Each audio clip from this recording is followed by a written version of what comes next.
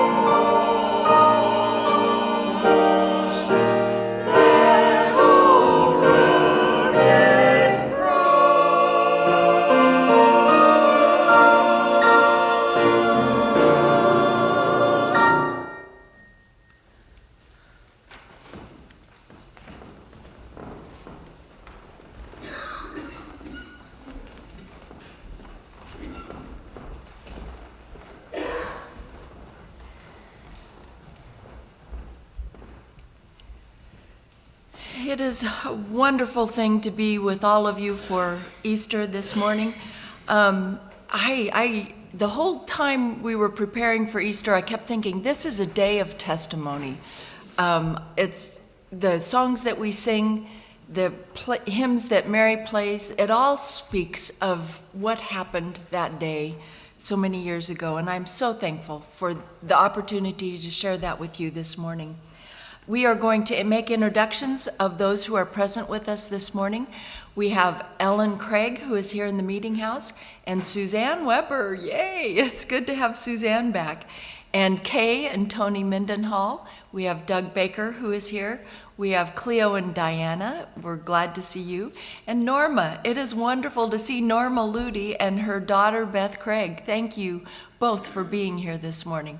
We have Rob and Val Pearson who are with us this morning. We have Brian Lilly and Michelle Lilly. We have Dennis Engel. We have Doug and Kathy Simmons. We have Dave Longnecker. We have Janet Ross and Sharon Reinard. We have Missy and uh, Susie Turner. Thank you guys for being here this morning. We have Kendra Holliger, yay, back from, back from Ecuador. It's good to see you this morning. We also have um, Norman Karen Peters and Marsha Holliger. We have uh, Kathy Burton and uh, Mary Clark and Ron and I. On Zoom this morning, we have Dwight Ferguson from Bella Vista, Arkansas. Welcome, Dwight. We have Cliff Painter from California. Welcome, Cliff. And it's colder in California than it is here. That's an amazing thing. we have Bill and Joyce Wagner from Muncie, Indiana. Welcome, Bill and Joyce. We have Lois Hogue from Sarasota, Florida. Welcome, Lois. It's good to see you. We have Pat Engel from Winchester. It's good to see you, Pat. We have Delmer Ferguson from um, Overland Park, Kansas. Welcome, Delmer. We have Nancy Wolf, who is here with us from Greenfield, Indiana. Welcome, Nancy. And Jeff Clark, who is here with us from Winchester. Welcome, Jeff. And Pat Denny, you have to be in St. John still because I see that beautiful, I be, that beautiful sea behind you. So wel welcome. I'm glad you were able to join us this morning, and we'll look forward to having you back. But enjoy your time there. Thank you. We have uh, Nita Burton, who is here with us from um, probably Indianapolis. So, Nita, it's good to see you this morning. And we have Keith Kendall, who is here with us from Friends Fellowship down in Richmond, Indiana. Welcome, Keith. And Stan Hendrickson, we're glad to have Stan and Gretchen Hendrickson here with us this morning. Thank you for being present. And we have Becky Edmonds, who is here with us, and Nate from um, Deerfield, Indiana. Welcome, Nate and Becky. And we have Angela Ferguson from her house in Raytown, Missouri. Welcome, Angela. It's good to see you. And we have Terry Reinard, who is here with us from his house just outside of Winchester. Yep, I got that right. Okay. um, we have Charlie and Valerie Boyd, who are here with us from Wichita, Kansas. Welcome, Charlie and Valerie. It's good to see you. And we have Tony and Marcia Critch from their home here in Winchester. Welcome, Tony and Marcia. And we have Shane Hall, who is here with us from Indianapolis. Welcome, Shane. It is wonderful to see all of you here this morning. Thank you for being present. Now, Ron will lead us in a hymn.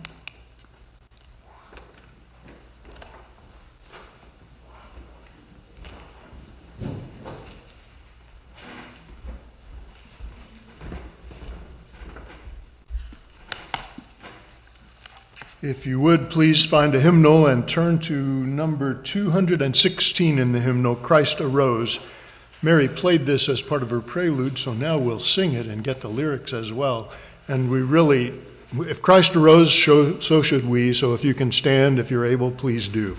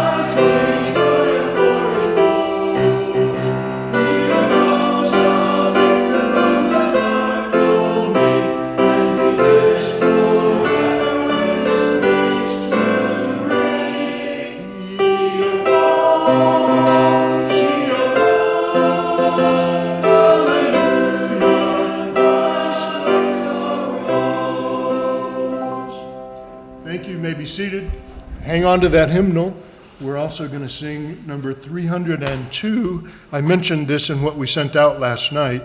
It asks one of our queries for us How are you showing people that Christ is real to you? So let's sing number 302 Share His Love together.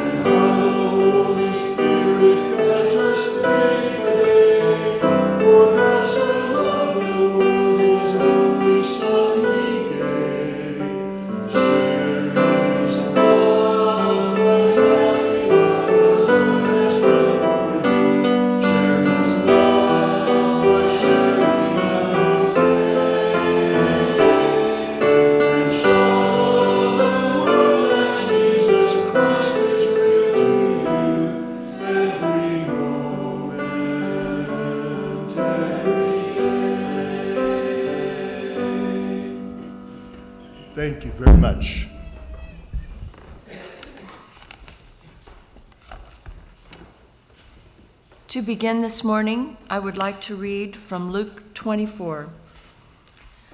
On the first day of the week, very early in the morning, the woman the women took spices they had prepared and went to the tomb. They found the stone rolled away from the tomb, but when they entered, they did not find the body of the Lord Jesus. While they were there and wondering about this, suddenly two men in clothes that gleamed like lightning stood before them. In their fright, the women bowed down with their faces to the ground. But the men said to them, Why do you look for the living among the dead? He is not here, he is risen. Remember how he told you when he was still with you in Galilee. The Son of Man must be delivered unto the hands of sinful men be crucified, and on the third day raised again. Then they remembered his words. When they came back from the tomb, they told all of those things to the eleven and to the others.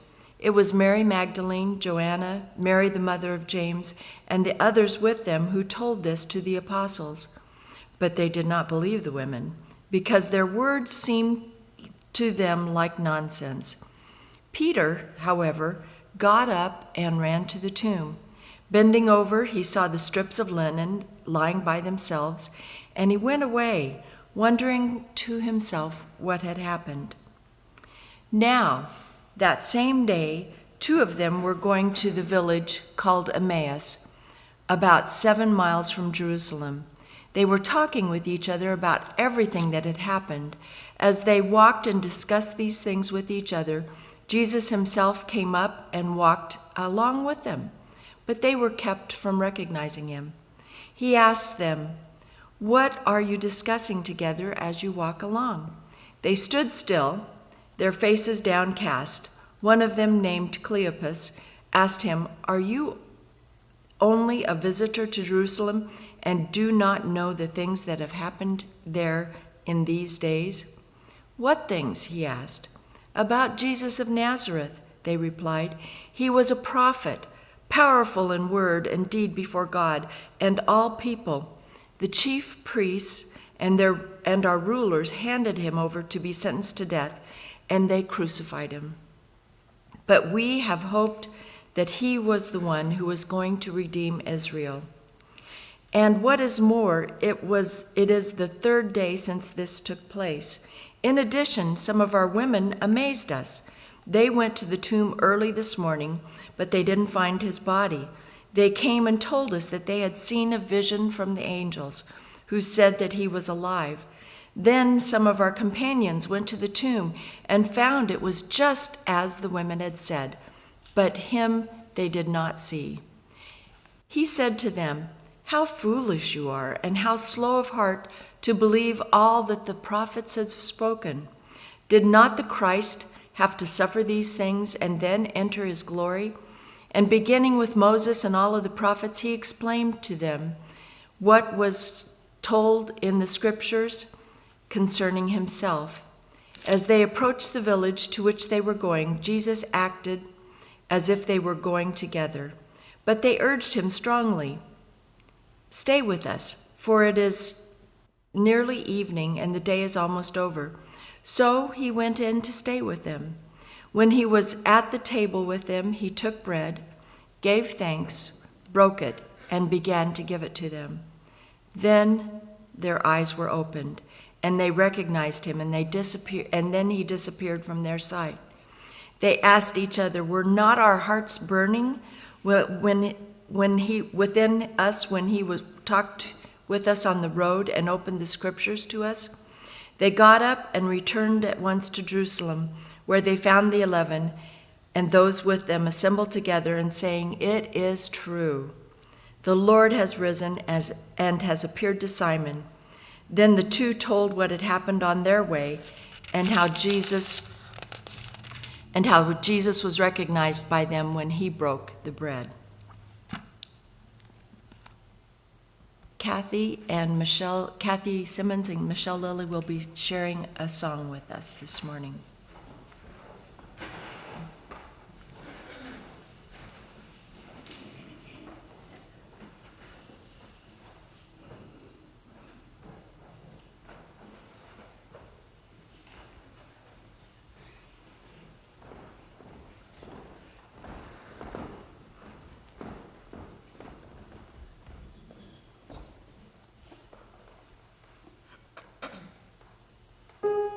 Amen.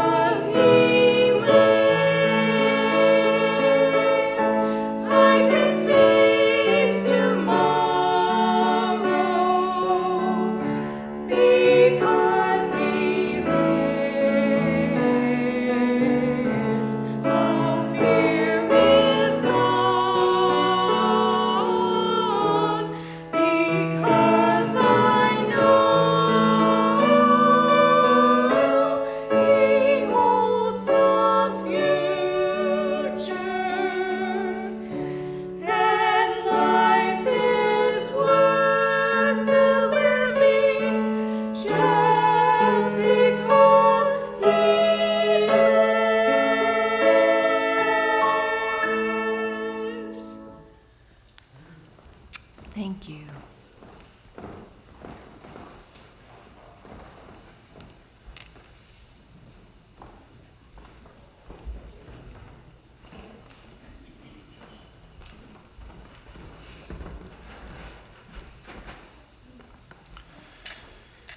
Because Pam and I have been around for so long, I know that I've told you this many times before, but I'm going to tell you one more time. Easter only comes once a year, you know. Thank you for singing that song. I don't know about you. I hear that and I am instantly back in Soroti, Uganda in the early 90s with a rebellion going on in the northeast part of Uganda. The people of Soroti trying to survive, being picked off by rebel ambushes along the road all the time. Guys riding bicycles just shot right off of their bicycles, robbed, um, if not killed. We were supporting a technical um, workshop there just to employ some guys, but also to try to address some of their true social needs in that area. We were teaching guys how to grow sunflowers and squeeze the seeds to make sunflower oil that they could sell and raise significant amounts of money to put their kids through school and things. So our responsibility was to drive up there once in a while and check on our volunteers who were there leading that project and helping those guys. And it was a little harrowing driving up there through rebel territory, knowing that they could jump out from behind the trees just about any time. We went up there and spent a night and then went in for the early morning devotions of this staff in this technical workshop. They every I think it was a Baptist group that actually had started this project and we were just helping them and supporting them. And so they had these guys have devotions every day when they showed up to work. And we were in this room with probably 20 or 25 young African guys who sang that song like I've never heard it sung before. We Americans, I don't think, fully appreciate what we're singing when we sing those words. Because he lives, I can face tomorrow. Because he lives, I can go back to work.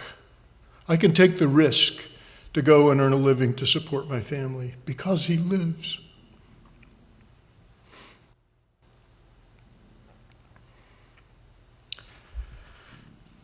I started out the piece that we sent out last night by just telling you that the choir song that we've been practicing for these many weeks has just touched me pretty deeply. And it's that second verse of that thing that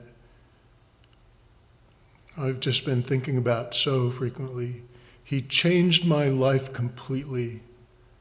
A new life is mine.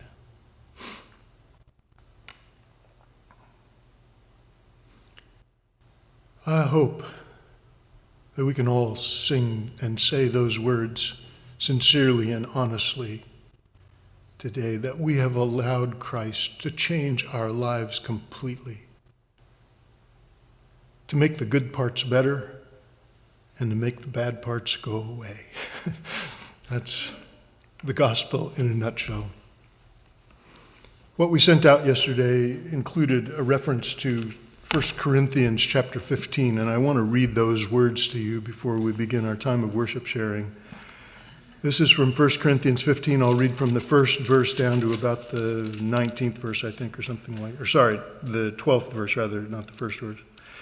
1 Corinthians 15, 12. But if it's preached that Christ has been raised from the dead, then how can some of you say there is no resurrection from the dead? I think it was the Sadducees that were the, the group in Israel, not necessarily in Corinth, but the group in Israel that just denied that there was a resurrection of the dead. So I think that's probably a reference that Paul is making to those guys. So he says, How can some of you say there is no resurrection of the dead? If there is no resurrection of the dead, then even Christ has not been raised. And if Christ has not been raised, then our preaching is useless, and so is your faith. More than that, we are then found to be false witnesses about God, for we have testified about God that he raised Christ from the dead. But he did not raise him, if in fact the dead are not raised. For if the dead are not raised, then Christ has not been raised either. And if Christ has not been raised, then your faith is futile. You are still in your sins. And those who also have fallen asleep in Christ are lost. And this verse just ought to grip your heart for a long time. If only for this life we have hope in Christ, we are to be pitied more than all men. I have had dealings with people in multiple places at multiple times who have said, You know, I really like Jesus. I learn about his life and I want to try to replicate the way he lived. It's all good. But he didn't rise from the dead. He was just a good guy. He was just a really smart, wise prophet. But he wasn't raised from the dead. For the Apostle Paul, this passage highlights the fact that the life and death and resurrection of Jesus is the gospel. That is the fulcrum of the spiritual life. If Christ is not raised, then we of all people are to be most pitied. We gather today to celebrate the fact that Christ is real to us, that we know he lives because he lives in our hearts. I hope with all my being that you can say that about your own life today. I wrote about seven changes that I saw in, I, I looked at all four of the gospel accounts of Jesus' resurrection event and look, tried to look at all of the people that interacted with him in some way in those hours and days immediately after he was raised from the dead. To just look at the ways that their lives were changed. And I boiled it down to seven characteristics that stand out to me as I think about those people and how their lives were changed by their encounter with the risen Christ. So that's what I've presented to you to think about. I will just real briefly go over those. The last paragraph of what we sent out last night says that the first one is a spiritual restart or resuscitation. Seems like a great place to start. If you haven't even begun the spiritual life, then it is a place to begin. And if you have drifted away, if you, like William Barber said, are in need of a defibrillator, it is time for spiritual resuscitation. Easter is a perfect time for that to take place. Spiritual restart and resuscitation. Second trait, eagerness to tell other people what's happened. Third trait, deepened spiritual sincerity. The fourth trait is honesty about the danger of sin. The fifth trait, genuine joy and awe in the presence of Christ. The sixth trait, conforming to Christ rather than to the dominant culture. And the seventh trait, a growing and improving discipleship. You don't need to see me. Back of this clipboard is just fine. That last one again, a growing and improving discipleship. Those things happened to the people that met the risen Christ. Our first query is Have they happened to you? Are they happening to you? It doesn't happen all at once. It is a lifelong process, it is a journey of spiritual growth. But those are the things that every one of us should expect to take place in our lives if indeed we have met the living Christ and not just words about him. Very different realities. The queries that we've posed regarding what we sent out are these. We will sing at the close of our service today, He lives. Our query simply asks the question of that chorus How do you know He lives? Number two, some people say Jesus' resurrection is a myth. Why is it essential to the gospel's message that Jesus rose from the grave? That is the passage from 1 Corinthians 15. Number three, we've already sung Share His Love. the phrase that says, show the world that Jesus Christ is real to you. What are the best practical ways you and I can do that in our everyday lives? And number four, what other changes to lives besides the seven that I have articulated are natural parts of genuine encounters with the risen, living Christ? And an additional one that you are welcome to respond to what other things come to your heart and your mind as you experience the celebration of Jesus' resurrection. What does Easter mean to you? What has been speaking to you in your soul this Easter season? We'd love to hear about any of your responses to those. We will wait quietly in the Lord's presence. You are welcome to respond to these queries or other things that God puts on your heart. If you are in the room, I'll be moving around with the mobile microphone. If you are online, You'll need to be sure and unmute, and Pam will be here to try to help you. I'm so glad you chose to spend this hour of Easter with us. Thank you for being here. Thank you for being obedient to Christ as we worship Him together.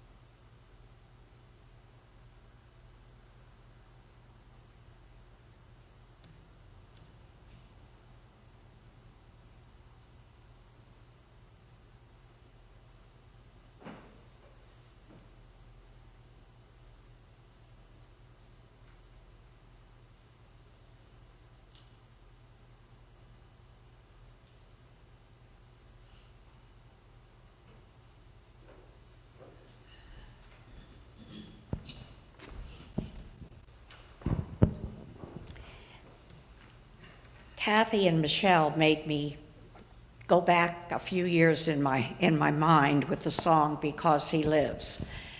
25 years ago, this young lady sitting beside me was a new baby. And I was holding her when that song, we sang that song. And God has been with her and God has worked through her lives. And I'm so thankful for that. But it brought back such sweet memories. Thank you.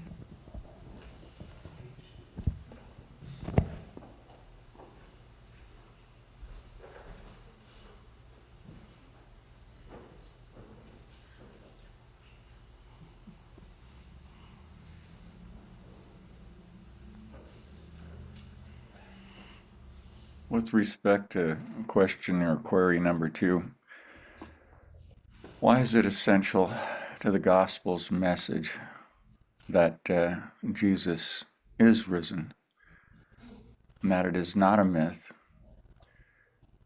Because Jesus is the truth, first and foremost, the life and the way. And we depend on the honor we depend on that truth. Otherwise, we have nothing. And like Paul said. And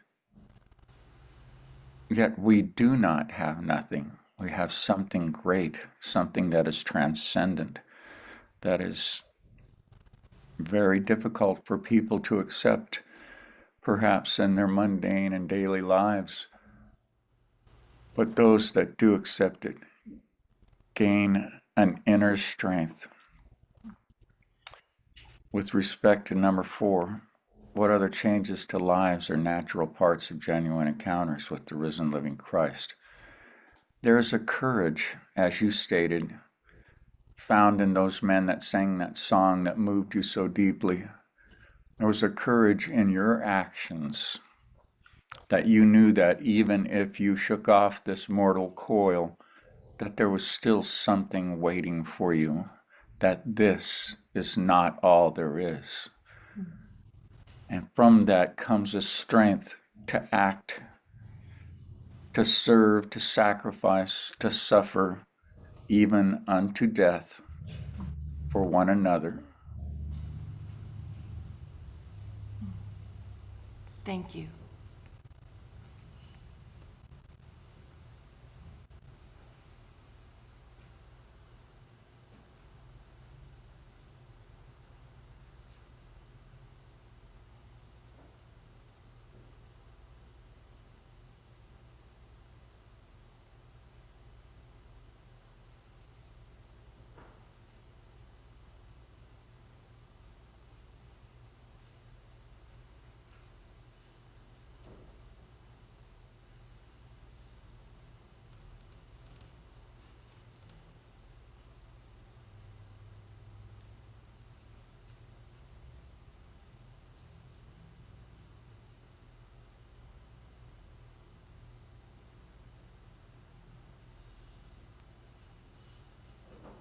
Bear and I too have been walking down memory lane, and it would have been about 25 years ago that uh, at the time I was a photographer and photographed a lot of weddings over the years.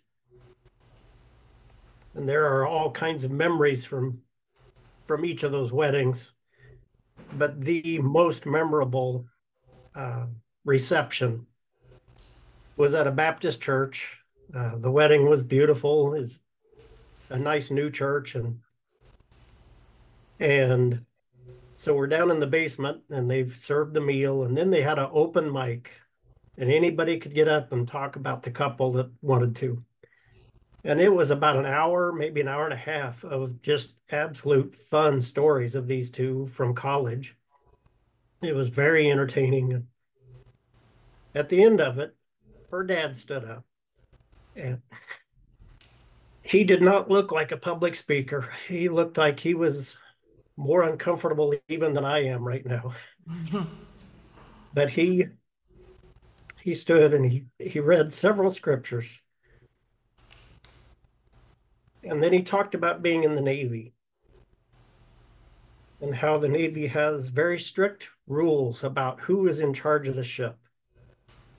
And the captain, as long as he's on the bridge, he's in charge, and everybody does what the captain says. But when the captain needs to leave the bridge, he can turn to the next ranking officer and announce to everyone that the first officer has the conn. And the first officer has to reply that he has the conn, and that acknowledges to everyone that he's now in charge. Then he went back to reading scripture about marriage and husband and wife.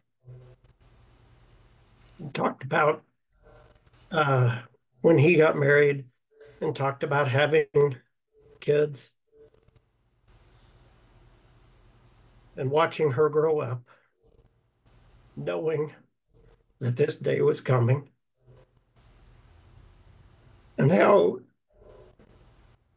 he was honored to turn to his new son in law and announce, You have the conn. I'll never forget one, how the entire room was just bawling their eyes out. I missed the picture of him hugging his new son in law. But the, the, just the weight and the importance of, of his acknowledgement and his passing of, of that authority. And I read the fourth query and I think that is what we each uh, experience when we encounter the risen living Christ as we acknowledge that he has the conn. Hmm. Thank you.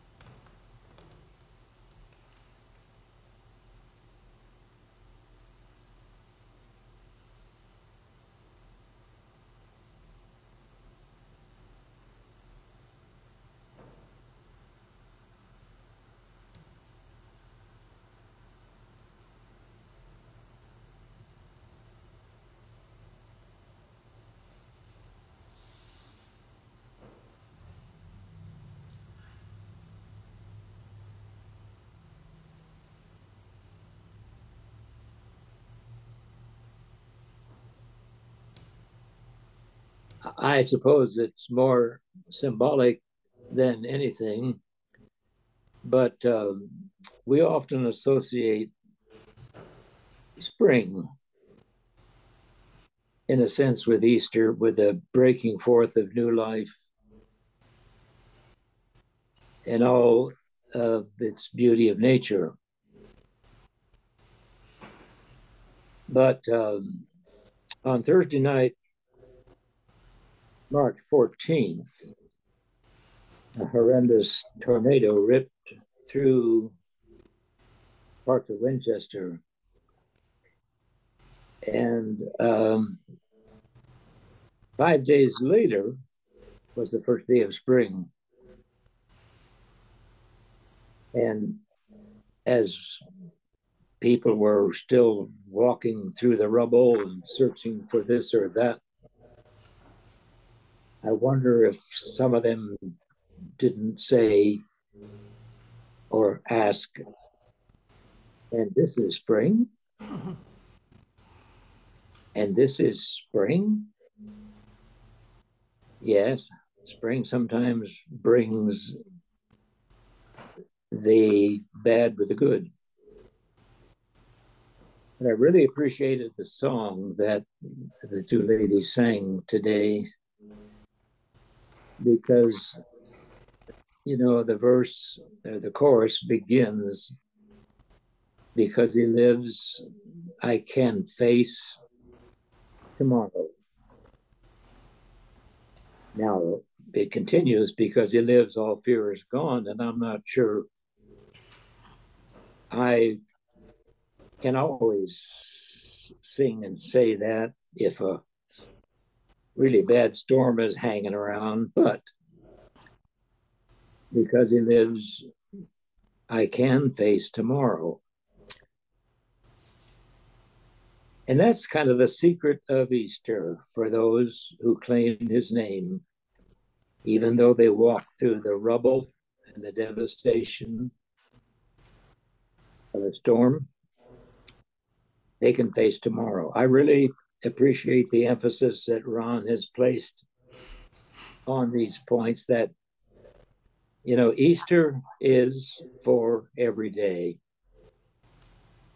And every day, as we face a new day, we can face unpredictable problems, even storms. But the truth is really simple, if not profound. Because he lives, we can face tomorrow. And that's not something everyone can say and sing. If Christ is not living in their heart and surrounding their presence, because he lives, we can face tomorrow. Thank you.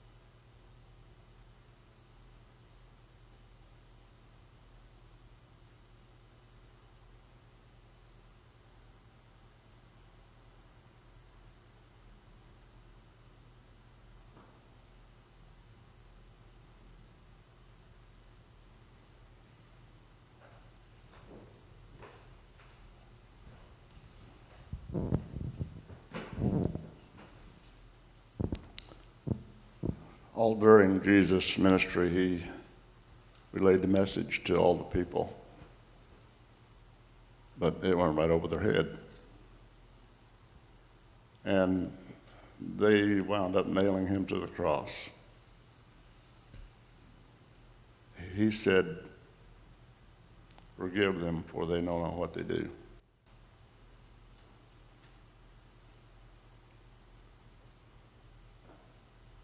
And after that, he arose from the grave and he promised his spirit. He is with us every day, all day, every minute. And there's no clearer, no clearer realization to that than when that tornado went through Winchester.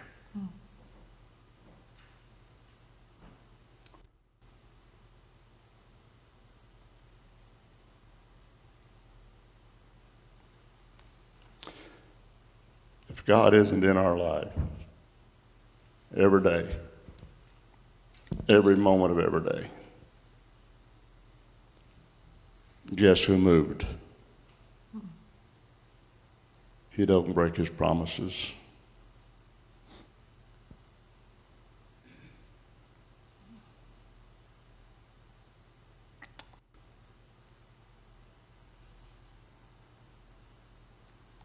I know he lives.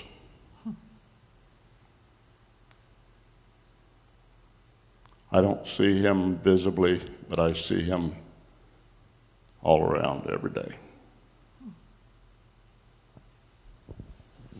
Thank you.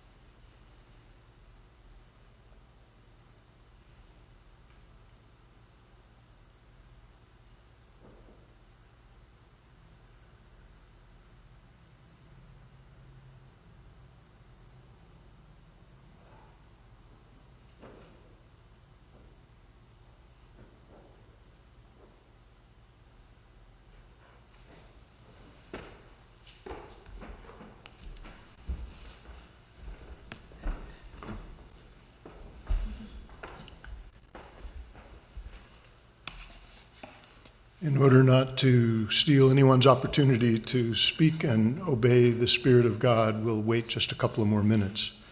You are most welcome to speak out as you are led.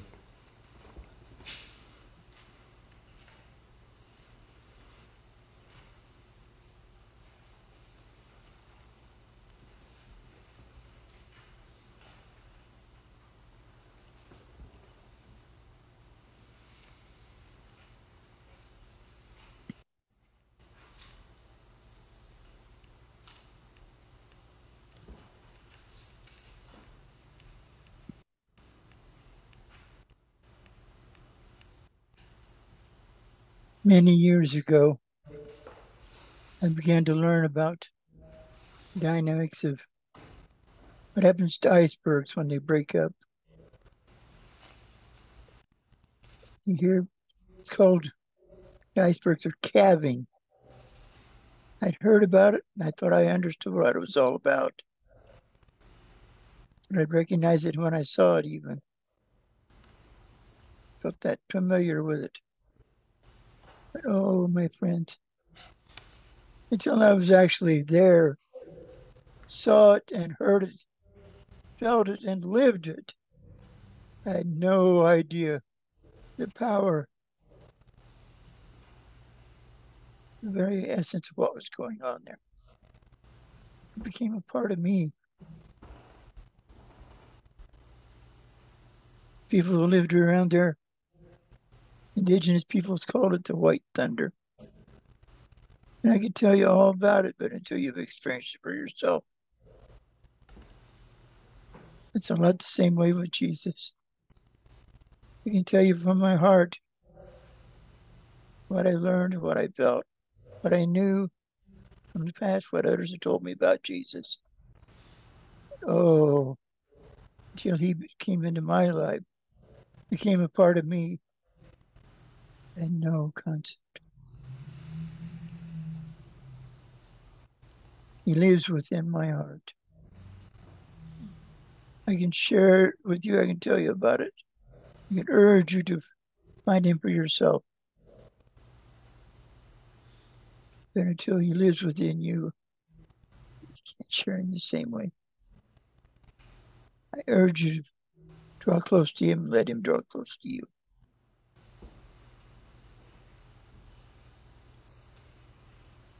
Thank you, Terry.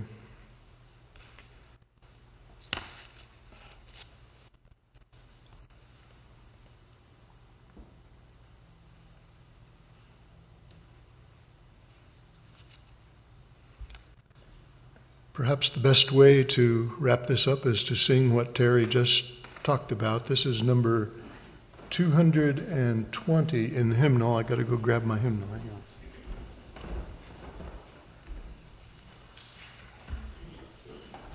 He lives, number 220. And if you would, let's stand, give you a chance to stretch. Here in the room, anyway, he lives.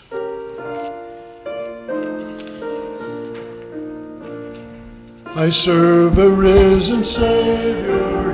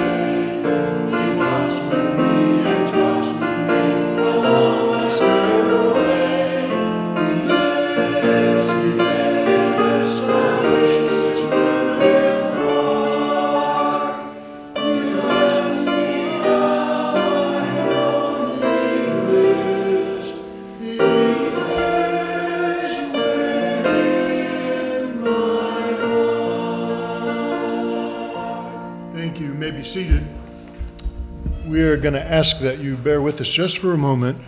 The chime choir would go ahead and get in position, I'm going to quickly give these announcements while they're getting ready. They've all got it on paper, so they don't need to hear it. But you all who don't have it on paper will clue you in. This week, on Monday, the 1st of April, there will be basket making class at 1:30 in the annex, so don't miss that if you're making a basket. Tomorrow evening at 7 o'clock, the Ministry and Oversight will meet by Zoom. So be sure and note that. That's a week late because of activities last week.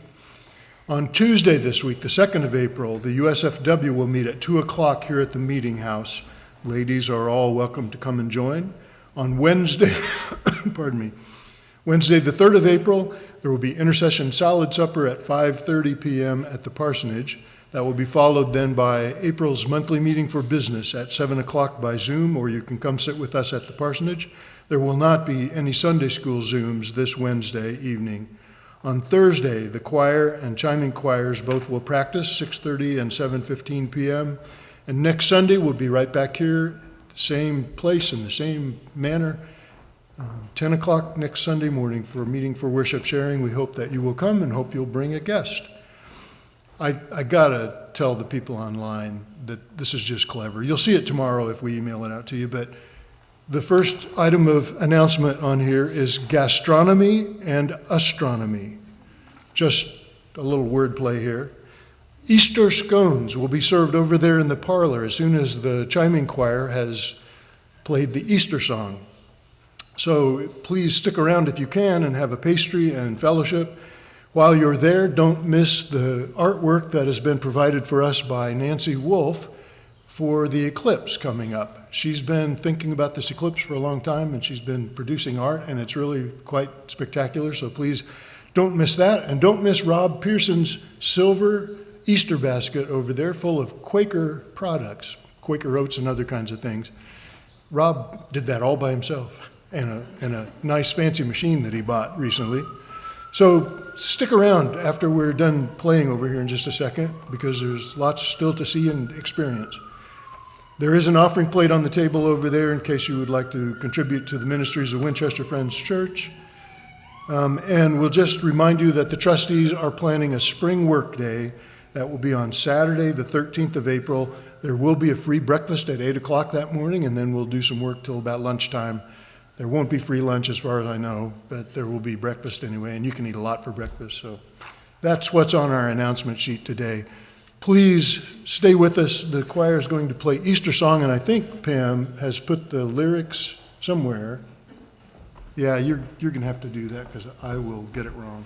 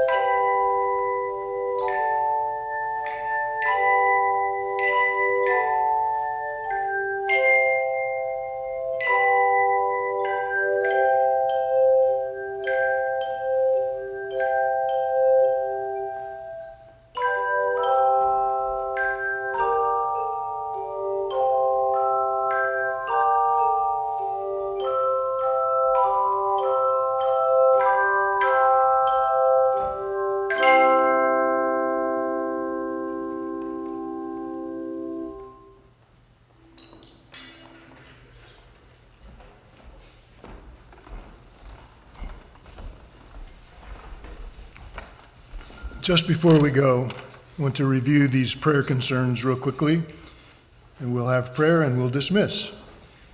Susan Simons is still at Carmel in the hospital recuperating after heart valve and pacemaker replacement surgeries this past week. She really hopes to be home very soon, maybe as early as tomorrow.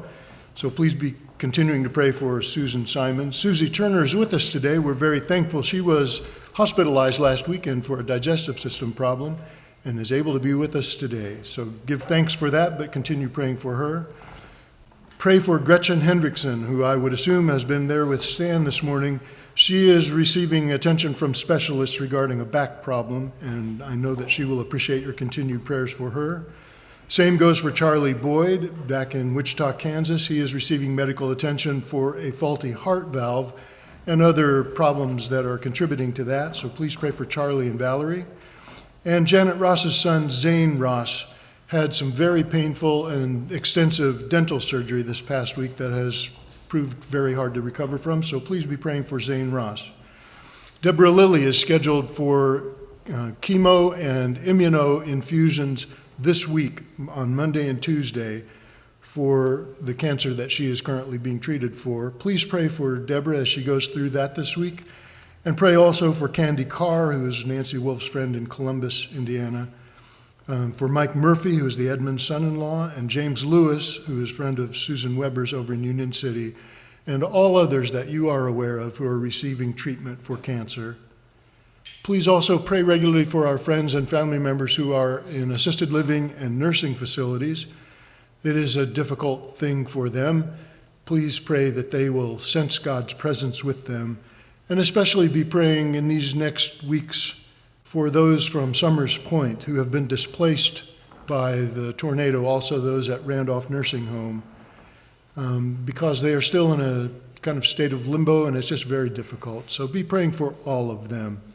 Pray for everyone in our community who continues to work hard to try to recover after the massive damage caused by that tornado on the 14th of March. And as always, we do again ask that you pray for peace in a world that just can't seem to find it. Point them to Christ and let them know that's where peace is found the risen Savior. If there are urgent concerns that you need added to this, you're welcome to speak them now or you can email them to me. Are there any things that should be spoken before we close?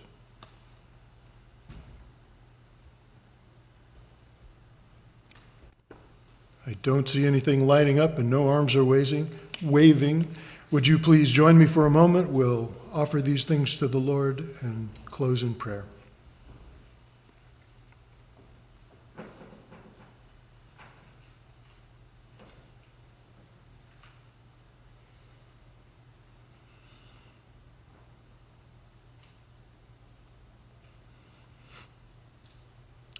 Father, we thank you for this chance to celebrate this important day together with others who love you.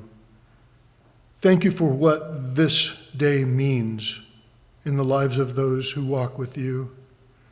To remind us that you rose on that day so that you could arise in our hearts every morning when we open our eyes, that you can live in us, that you can empower us, that you can lead us that you can give us a life that is fulfilling and satisfying, that you will be present with us at every turn, that you will never leave us nor forsake us, because you do indeed live in our hearts.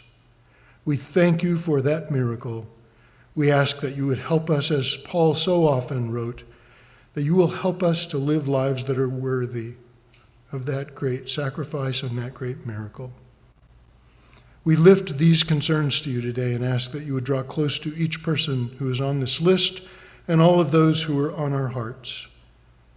That you would help them, that you would be present in tangible, in powerful ways. You would make your love known to them and show it to them by bringing healing and help and strength and encouragement and all the other things that are needed into each one of these lives. We thank you so much for the ways you've helped us in the past. We thank you for your promise that you will help us going forward. We ask, Lord, that you would help us to live this day as positive witnesses that you in, indeed live, that you indeed were raised, and that you have given us life and hope, that you have shown us your love. We express that love back to you with gratitude in our hearts for all that you've done for us. In Jesus' name, amen.